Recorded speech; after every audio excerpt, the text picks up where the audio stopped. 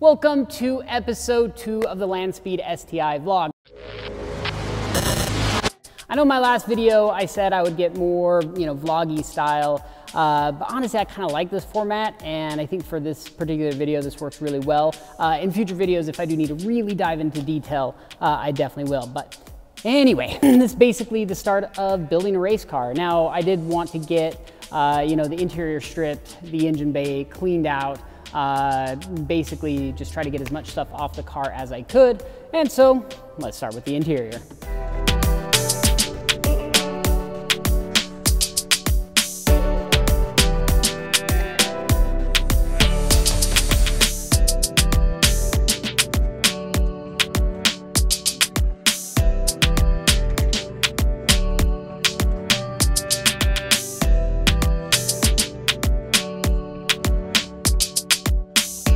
Moved on to the dash and the HVAC, and this time I actually set up my GoPro time lapse correctly, which is pretty cool. And then with the interior mostly stripped out, and of course I'll move back to that uh, later on, uh, I wanted to get you know most of the exterior removed.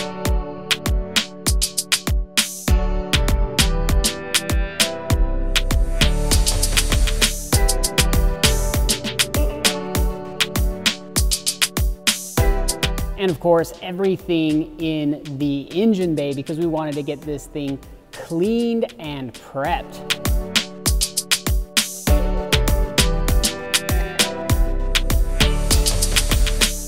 All right, I'd say it's looking pretty good. Everything's removed for the most part, just some little odds and ends, but there's one last thing I wanna do before I go home.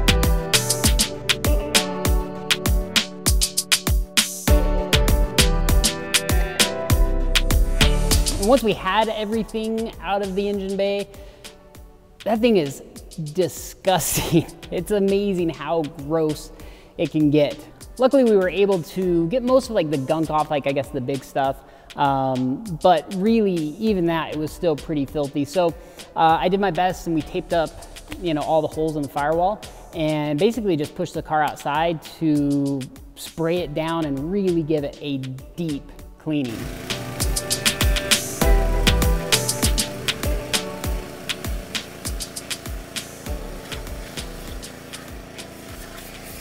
There is something actually very satisfying uh, going from something so incredibly dirty to something that actually looks pretty nice, you know, given the car's age. And then we rolled it back into the shop and, you know, there's just a lot of sanding and grinding.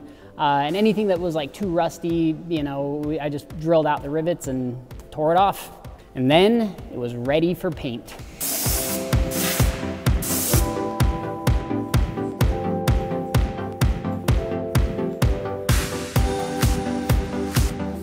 Now, I would never recommend uh, a rattle can paint job if it's like your show car or something like that. But for what we're doing, I actually think it turned out pretty well. And I really like that gray color. And there is actually a reason we went with the gray uh, because we want to do, you know, essentially the inside of the car all the same color.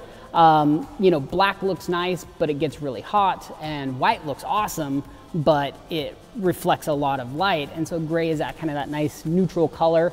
Uh, and I think it turned out actually really well. Now, obviously, we still have a ton to do on this car, and I would have loved to have, you know, basically stripped the paint off of all the exterior, the hood, the trunk, etc., painted the entire inside.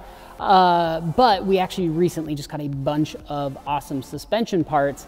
Uh, oh, which reminds me, we also got a subframe, and I painted that as well. Now, I wasn't, I wasn't sure about the paint um, on the subframe because I kind of wanted to go with like a crazy color on it just because it's kind of like tucked in there. I don't know, like what do you guys think? Should I, maybe I'll paint the steering rack pink or something like an STI pink I think would actually be really cool. Anyway, I know this update was kind of brief, but honestly I don't know how in depth I could have got on, you know, removing stock parts and bodywork type stuff. And even if I try to give you know, advice on bodywork, it, you probably shouldn't take it because I'm definitely not the guy for it.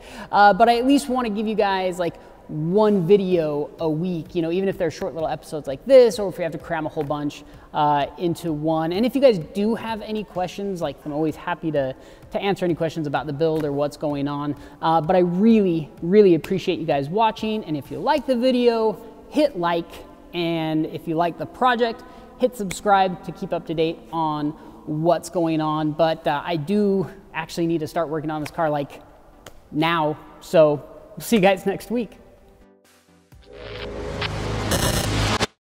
Drop it.